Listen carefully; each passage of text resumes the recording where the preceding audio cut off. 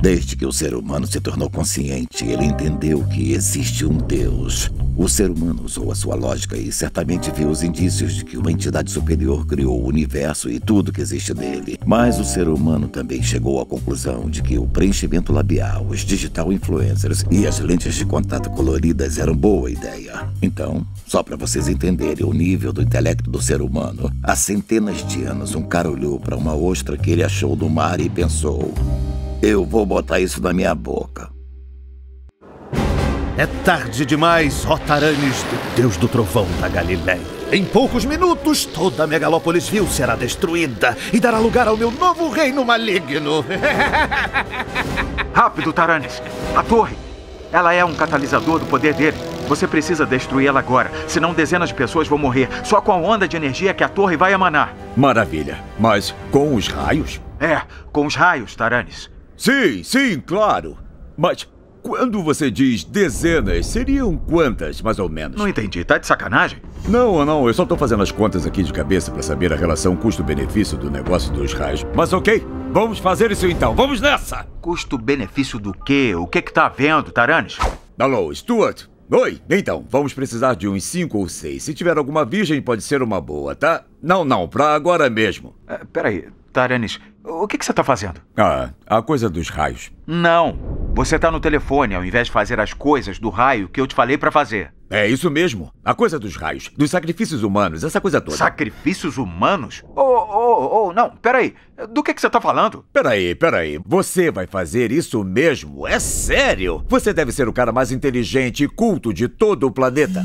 Sabe como construir uma usina nuclear com quatro caixas de fósforo, barbante e cola branca, mas não sabe de onde vêm os meus poderes? Aí, eu achei que essa coisa de sacrifício humano fosse lenda. É claro que é lenda. Só que um deus do trovão seminu na sua frente também é uma lenda. E aqui nós estamos. Você quer ou não a coisa dos raios? Não tem jeito de ter os raios sem sacrificar alguém?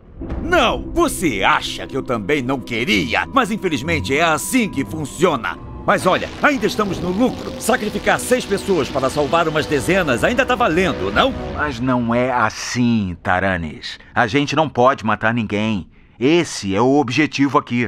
Você quer dizer não pode matar mais ninguém. É isso que quer dizer, não é? Ai, merda. Eu achei que vocês soubessem. O sacrifício está implícito na coisa de ser um deus galês. O que vocês achavam? Que eu pedia dízimo pra galera? Eu não acredito que a gente não consegue ter a porra de um deus que não precisa matar um monte de gente para usar seus poderes. Bom, é isso aí, galera. Esse é Dionísio, um primo meu. Se vocês fizerem uma boa festa com um bacanal considerável de pelo menos 15 a 16 pessoas em homenagem a ele, Dá para usar os poderes dele, sem sacrifício humano nenhum. Sei. E qual é o poder dele? Vinho. Eu possais aparecer, dizeis, com seis barris do mais nobre vinho, na verdade sete, se vocês arrumarem um ruivo bem peludo em uma jacuzzi. Mas se existe luz, também existe escuridão. Se existe Deus, existe o filme do Esquadrão Suicida. E quem pode ter feito esse filme? Só pode ter sido o coisa ruim, o capeta. Você pode até não acreditar no diabo, mas ele acredita em você. Eu sou Zaratos, Lorde Demoníaco da Vingança. Quem ousa me invocar? Acho que fui eu. Você? Isso é sério? Você estava cozinhando e invocou o Lorde do Inferno? É uma receita nova e eu não cozinho muito bem. Eu vi na TV e achei que ia ser fácil. Hum, entendi. Normalmente quem me invoca é alguma escória da humanidade à beira da morte que faz um péssimo trato comigo. Então, possuo seu corpo, dou poderes, a gente faz coisas horríveis com um monte de gente e depois eu levo a alma dessa pessoa pro inferno para sofrer por toda a eternidade. Isso te interessa? Por acaso tem outra opção aí? Agora que você me trouxe, eu não tenho como voltar sem levar ninguém. O máximo que eu posso fazer é ficar morando aqui e de repente arrumar um trabalho no Starbucks. Vai rolar não, meu contrato de aluguel não deixa nem ter cachorro, nego é muito chato aqui. Como é que é esse lance da alma? Você vai usar muito couro, umas correntes penduradas, vai ter uma cabeça pegando fogo, uma moto turbinada e poderes demoníacos inimagináveis que irão tornar você um dos seres mais poderosos do mundo. Ah... Acho que é melhor não, foi mal. Por quê? Por causa da parte demoníaca? Eu te perdi aí, né? Não, não, é que eu sou vegana, não tem como usar couro, é complicado. Vem cá, você já ouviu falar em couro de jaca ou de cogumelo? Não sabia nem que tinha isso. Bom, tenta escolher pelo menos uma cor escura para combinar com a moto demoníaca do inferno. Ah, eu não ando de moto, é muito ruim pro meio ambiente, sabe?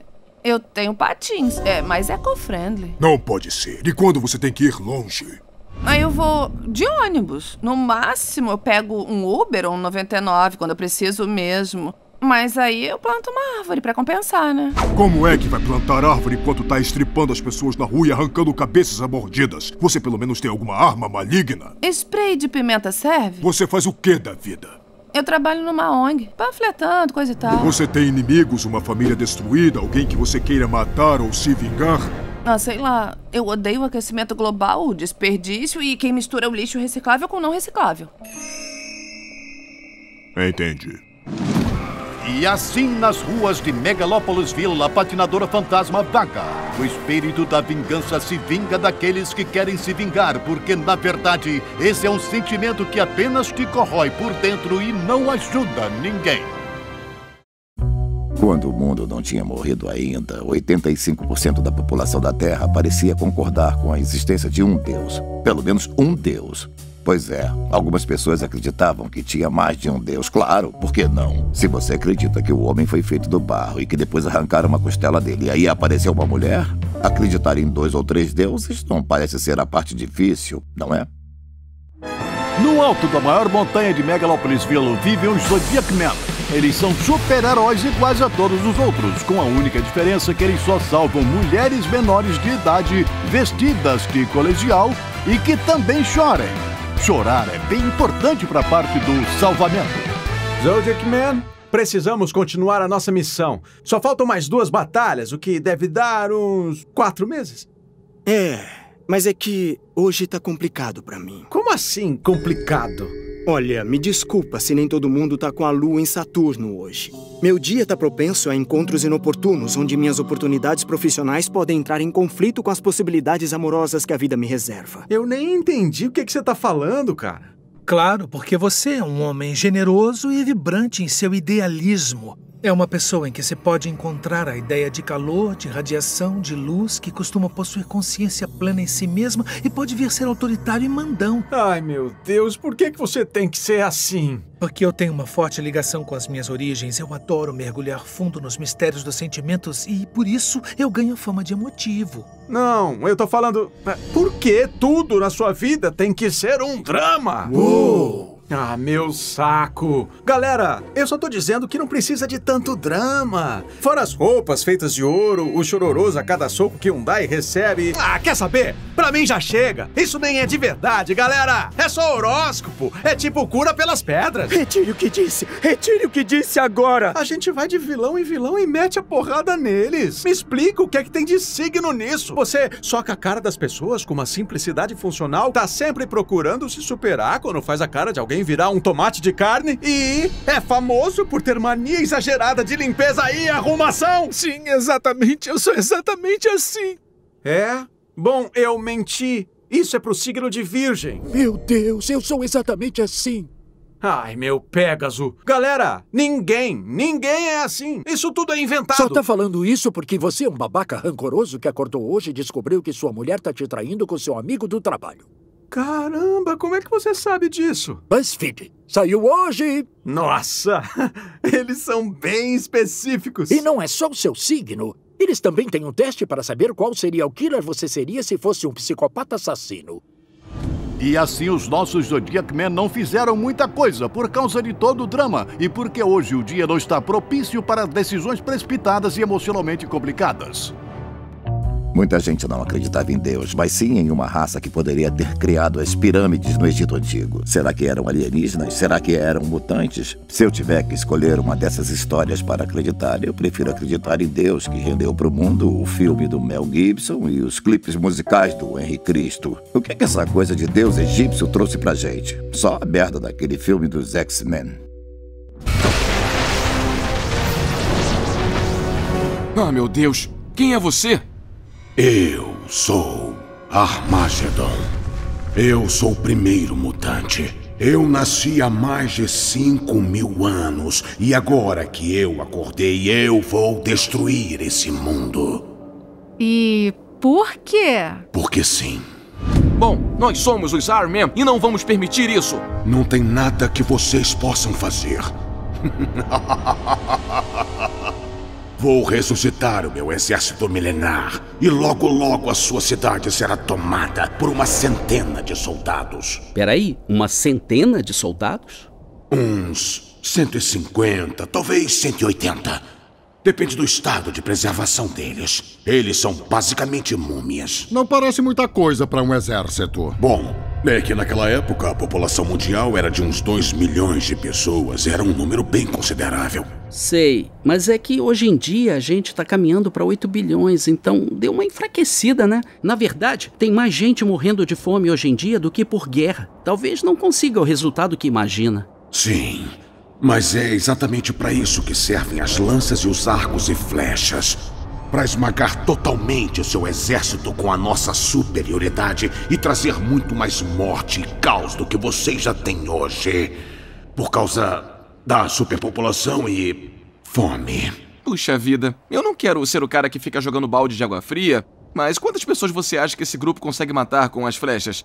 Porque só esse ano morreram mais de 150 mil pessoas só por causa de armas de fogo aqui. 150 mil? Desculpa, eu não entendi. Vocês por acaso já estão em guerra? Não, não. Isso é coisa normal do dia a dia mesmo. Briga de trânsito, assalto, violência doméstica. Por isso que eu tô preocupado com esse seu plano. Acho que pode não ter muito resultado. Os tempos meio que mudaram, tá sabendo? Estamos vivendo uma outra época. Ok. Bom, se os tempos mudaram, isso é um ponto a meu favor. Eu vou trazer doenças da antiguidade que a sua tecnologia e a sua medicina já devem ter eliminado há muito tempo, como pólio, hepatite e sarampo.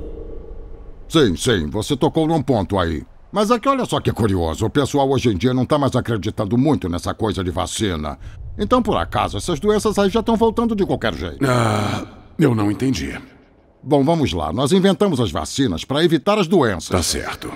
E aí erradicamos centenas de doenças. Eu tô acompanhando. Mas tem alguns anos que uma galera achou que, na verdade, essas vacinas é que acabam trazendo as doenças. Ok, agora me perdi de novo. Ah, desculpa, eu não sei nem o que dizer.